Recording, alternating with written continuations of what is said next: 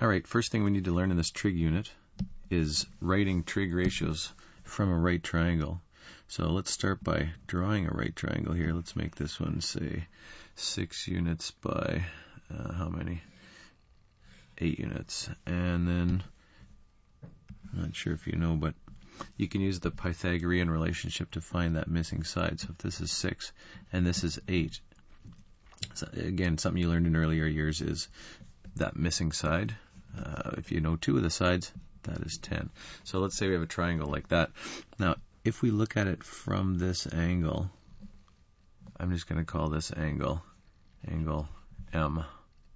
Right? And we can we can uh, look at the triangle from that point of view. Writing trig ratios, there's three primary trig ratios. One is called the sine ratio. One is called the cosine ratio. One is called the tangent ratio. And they all have abbreviations on your calculator or when you write them. So we can put that in brackets here. This one is abbreviated just SIN.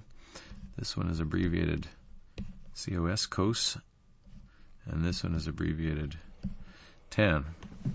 For this particular triangle, we can write those three ratios. They're ratios of two sides. This sine ratio here is the ratio of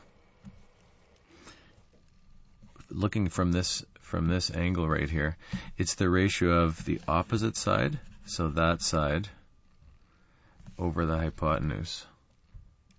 Alright, that's the sine ratio.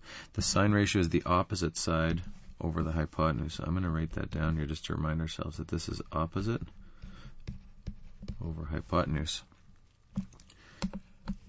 So in this case, if you wanted to write what the sine ratio was, if you want to write it in words, you could say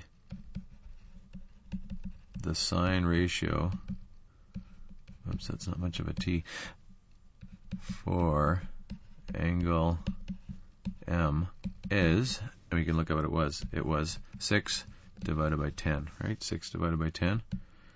That sine ratio for that is 6 divided by 10. 6, I'm just going to put 6 over 10 like that. Or as a decimal, 0.6. If you want to write it with eh, algebraically or with, with symbols, right, instead of words, all you have to do is say sine m equals 6 tenths.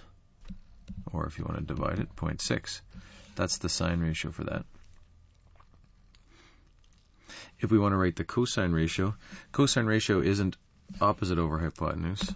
Cosine ratio is, if we're looking at the triangle from that same point of view, from this angle here, it's the adjacent side, this side, over the hypotenuse. Alright? Cosine is adjacent over hypotenuse. So let's write this here. Adjacent hypotenuse. So if you're going to write it, I'm not going to write that one with words because I'm pretty sure you can imagine how. I'm going to write cos m equals 8 tenths. Or running out of room here, or 0.8. Right, there's the cosine ratio for that. In words, it would just be the cosine ratio for angle M is 6 tenths, or 8 tenths. Now that last one there, the tangent ratio, tangent ratio is the only one that doesn't involve the hypotenuse.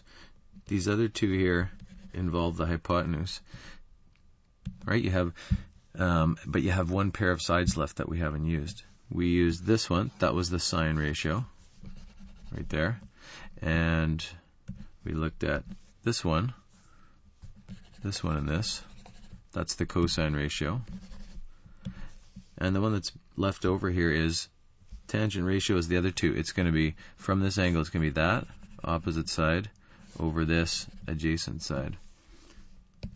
Okay, tangent is opposite over adjacent. So if you're going to write the tangent ratio for that, angle.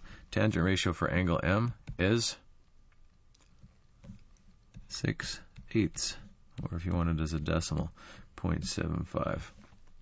All right, that's those are the three primary trig ratios for that triangle. Now, if you're going, if you're working with a triangle that has a missing side, you can still you can still find all this. So if we have if we have a triangle here, let's draw another one. Let's just say we have three and five. Now let's make it a bit bigger so we can see it here. Let's make it five. Let's try again for that. Let's make it five and uh, seven. How about that? Five and seven. And then of course we need our hypotenuse here.